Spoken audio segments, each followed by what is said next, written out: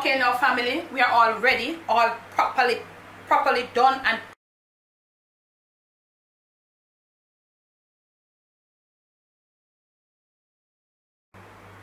Hey everybody, how y'all doing?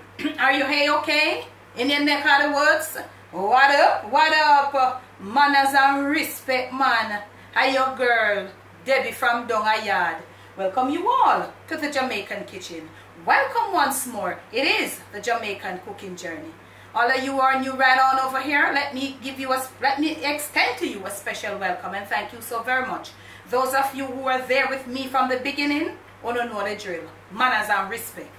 Now today, this little video is like ex, um, sharing with you. Those who are Jamaicans, you might forget it. I don't know how much you can get it in a foreign. And also those of you who love, who like or love the Jamaican cuisine. I want to share with you something that we do so much in Jamaica. It's easy to be done and it's really loved. It can go for your thanks on your Thanksgiving breakfast table, your Christmas breakfast table, and also most times we do it on a Sunday at home for breakfast. Okay? When you are having Thanksgiving dinner at your house or Christmas dinner, when you're hosting that event, it's a lot of work on you. Therefore, the dinner, the dinner thing always hectic. So for me, I when when I was doing it back in the days, but I with them sitting there again. Hello, please. I'm just bringing you on in this. Okay? You have got to let the breakfast have a little vari a variety of different things, but make them be things were easy to prepare. You get what I'm saying? Because if you're tired out yourself from breakfast time, when dinner time come, you're gonna pop down. You're gonna be so tired you won't be able to focus. Okay? And following the, this, I'm gonna be bringing in in between some other little videos or you can get some breakfast ideas get going and if you are watching and you just want to know what I'm gonna do and you can't wait and you want to click off you can just click off okay? But I think my real supporters they're okay with me. So as I was saying you want to have little things for breakfast that are enticing real nice easy to prepare.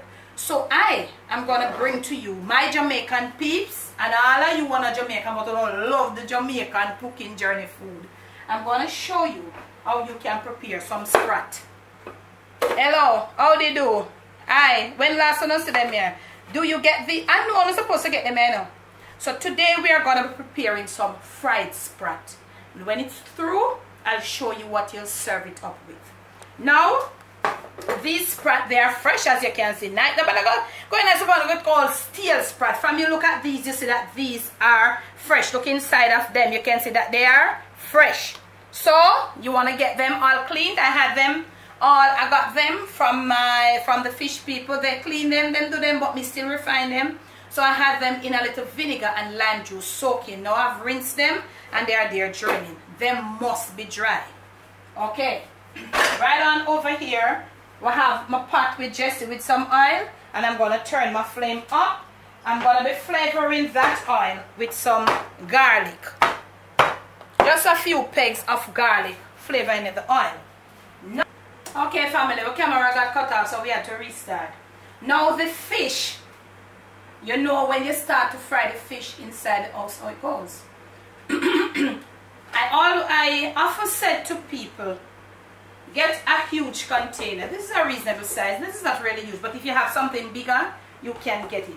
Something even on the wider side, full it with some water, get it filled with water. You can use some vinegar, plain vinegar, or if you have, you know, those fragrance things that you use to mop your floor. So I'm going to be doing a little of this in mine. Just do that, okay? So with that being said there right now, you will leave it. And when you start frying the fish, this will absorb all that fishiness. So you won't have any problem with your curtains and your, your, your, your, your, or your drapes and your sheet and whatever. Okay? Even if you have your range with something up ahead, you can see. Because sometimes you have it up there and please still smell a fish. So this is it. So you see me, I go do my fish. So I have mine right here. Okay?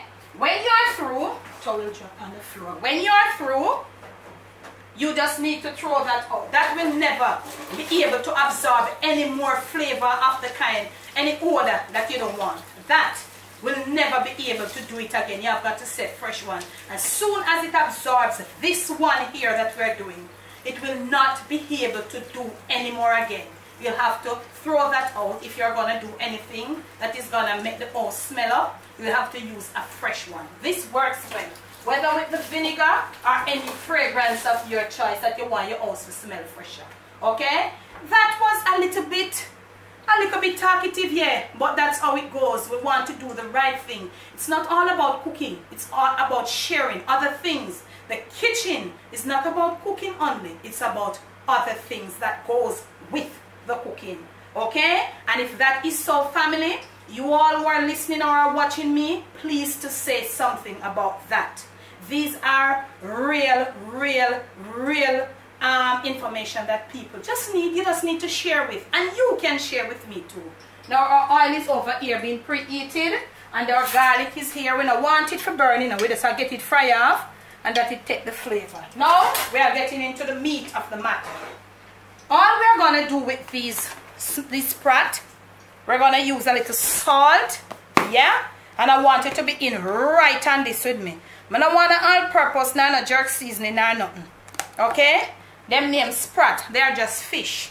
So I'm to be using just a little salt and some black pepper to season them. But what you want to do you want to have them properly dried. You flame up. So you want to dry them. Have another plate. We're to get them all dried and we're to put them on the plate and come back to you whilst our oil is being preheated. Okay now family my oil is over here. It's almost hot. To how I want it.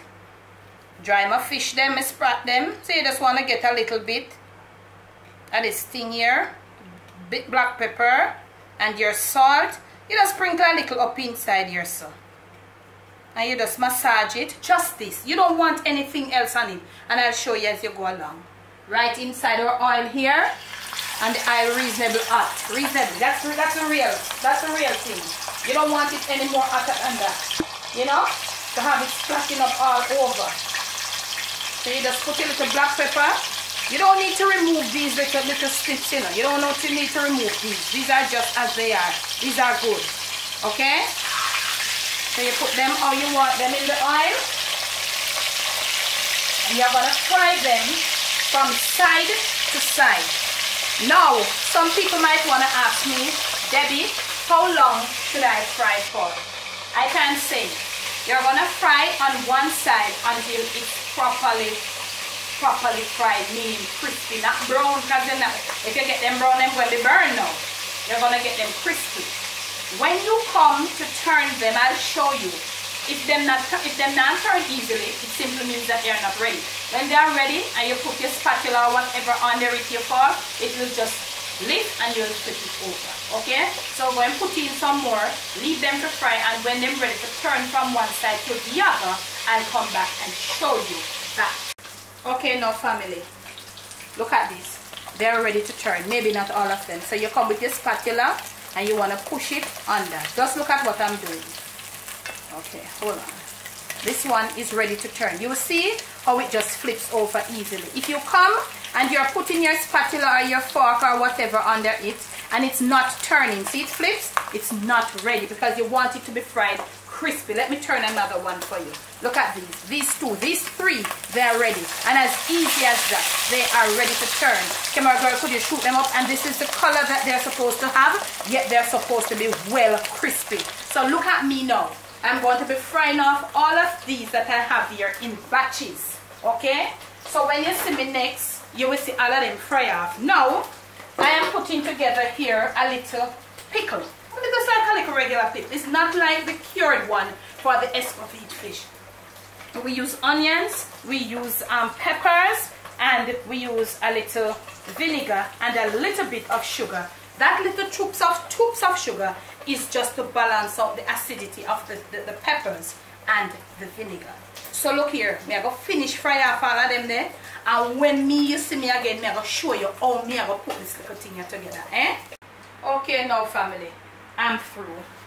we're through these are what we have this is how they're supposed to look hi you saw them crispy and nice this is how you do that look here hello please look at them you saw them just cock up yeah look at them you saw them just them fry till them just stiff and just cock up so yeah and then just bossy they're saying to you that I am ready to be eaten that is how nice crispy Jamaican fries sprat now right on over here and let me tell you you leave these to cover to cool openly. Don't cover them. Leave them to cool openly. Or else them are gonna get saggy. You know want them saggy. You want when you bite down in them you get that crispiness there. You saw them look? Okay. Now we have gone ahead and we have rinsed some onions and we have some um, peppers and we have a little bit of um, pimento seed. We don't need no carrot and all them something because this is not an escovitch. This is just a regular little pickle. So we're gonna put in about that, about three tablespoons or two and a half tablespoon of white vinegar. If you have um, the apple cider, you can go ahead. And you're going to be using like one level tea tablespoon of granulated sugar. Brown sugar, it doesn't really matter. And you're going to put it in there. Mix it around, stir it around a little bit. No salt, you don't need no salt in there.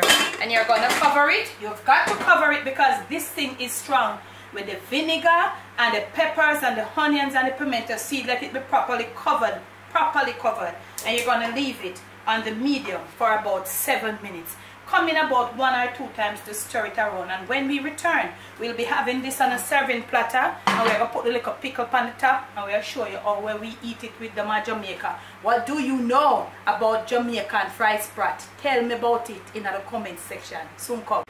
Okay now family we are all ready all properly properly done and properly present I'll be presenting to you.